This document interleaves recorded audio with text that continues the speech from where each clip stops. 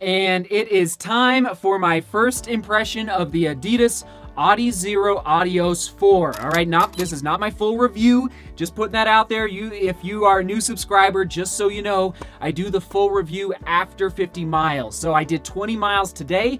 So in about 30 more miles, I will give you my full review after putting this shoe through some more workouts and paces. Okay, Omori, I'm not saying it correctly, but I'm just gonna say Omori from Japan. He is a shoe designer. He is the, the brainchild behind the design of this shoe.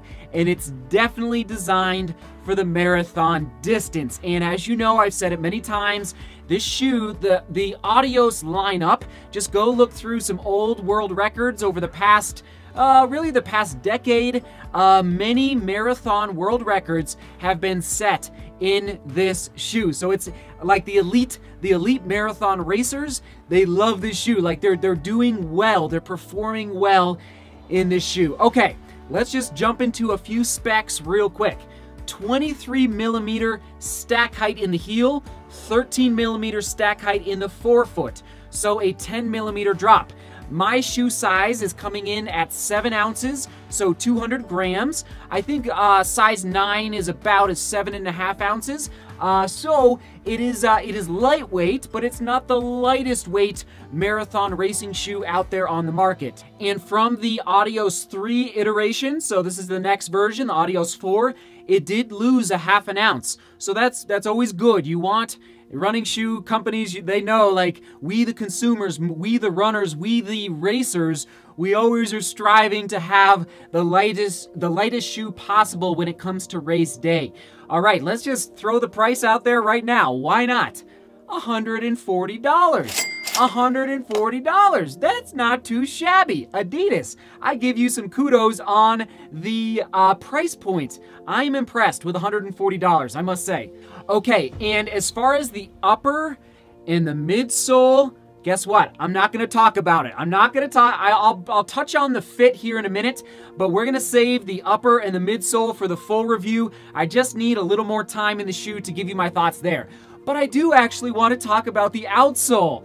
This look at this outsole pattern. Uh, you'll see the the boost uh, foam uh, shining through the black rubber. That's right, and you might recognize the name at the top there. Continental. So I'm gonna pull up uh, my phone here and just read you something real quick. Here we go.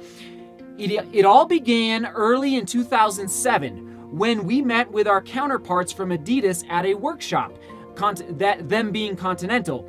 At the time, Adidas was working on a project designed to improve the grip of their shoes. With this aim in mind, uh, Gerd Mons and his colleagues were on the lookout for an expert partner from the rubber industry.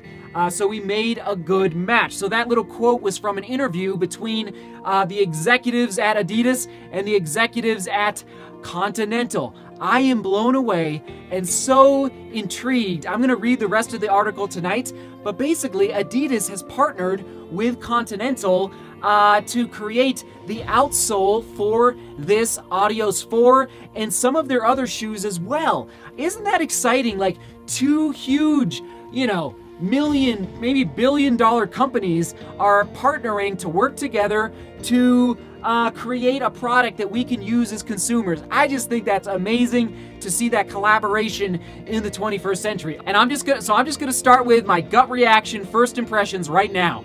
The outsole. I tell you what, I felt like I was gripping the pavement really well. And like there's there's traction and then there's grip.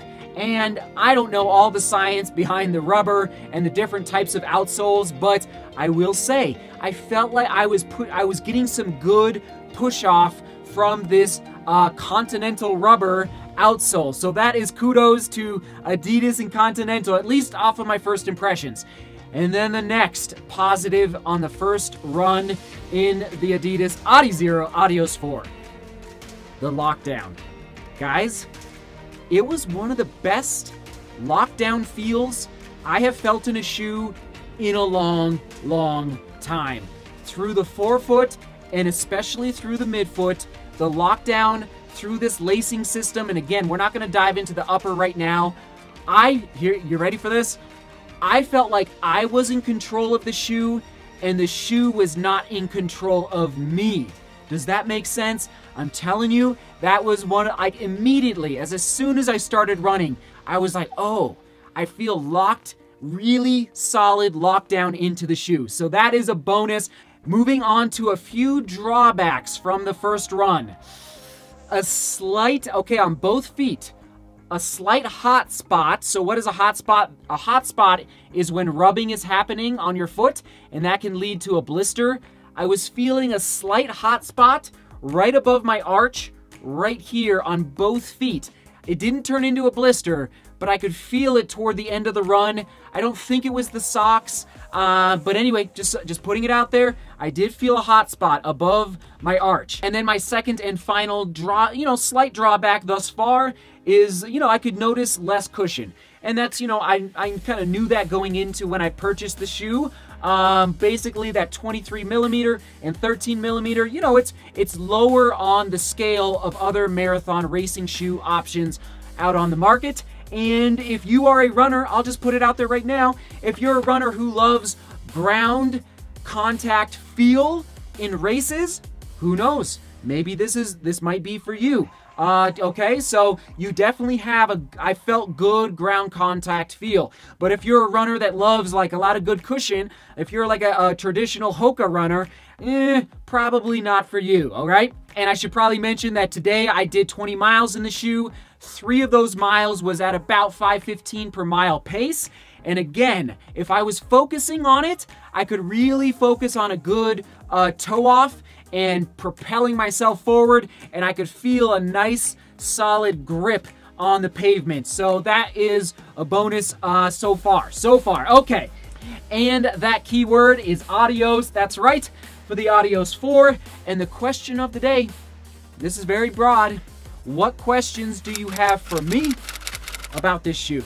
Ask me anything. Keeping in mind, I've only done one run, 20 miles, uh, and we'll get more miles in them very soon, even though a snowstorm is coming tomorrow, so it won't be tomorrow, but we'll get more miles in these shoes very soon. So ask me anything, and I will. Okay, I'm just to put this out there right now.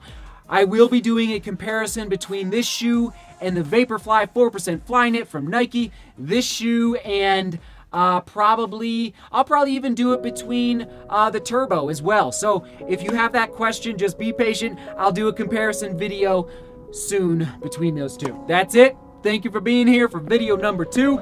Seek beauty, work hard, and love each other. Adios.